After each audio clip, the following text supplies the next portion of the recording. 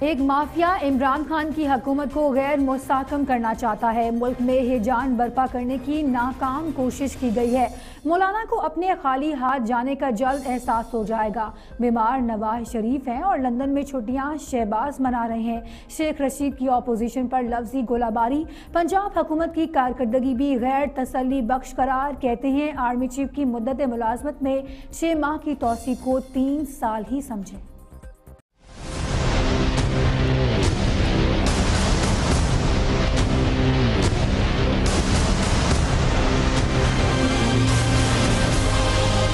پنجاب میں لوگوں نے کارکردگی پر اطمینان کا اظہار نہیں کیا۔ پنجاب میں لوگوں کی ریزرویشن ہے، مجھے خود ریزرویشن ہے۔ لیکن میں حکومت کا حصہ ہوں، اس لیے میرا ایک طریقہ اور سلیقہ ہے کام کرنے کا اور بات کرنے کا۔ اور پنجاب میں واقعی امن و امان کا مسئلہ ہے، مہنگائی کا مسئلہ ہے۔ پرائسز پہ لوگوں نے لوٹ ڈالی ہوئی ہے، کوئی پوچھنے والا نہیں ہے۔ اگر نواز شریف کی بیماری اسٹنٹ بھی تھا تو دفعہ بلا جانے دو۔ ہم سکھی رہیں۔ میں چھ مہینے سے جو بات کر رہا تھا کہ اس کو جانے دو، سب اچھا ہو جائے گا۔ وہ جب دیکھے گا کہ یہاں سب اچھا ہو گیا، پھر سوچے گا کہ اب میں کیا کروں۔ عمران خان کی کی نیت میں کوئی فرق نہیں تھا۔ کہ دل سے یہ چاہتے تھے کہ یہ اتنا زبردست آدمی ہے ڈیموکریٹ جرنل ہے ڈیلیورنگ جرنل ہے وی این والا جرنل ہے۔ جوش اور ولولے سے کام کرنے والا ہے اس کو تین سال ملنے چاہیے۔ وہ مل کے سمجھ لیں۔ میں تو اس پہ سوال کرنا بھی مناسب نہیں سمجھتا کہ تین مہینے چھ مہینے کا مطلب تین سال ہی سمجھے مجھے اللہ پہ پورا یقین ہے، اللہ سبحان اللہ تعالیٰ پہ کہ عمران خان پانچ سال پورا کرے گا۔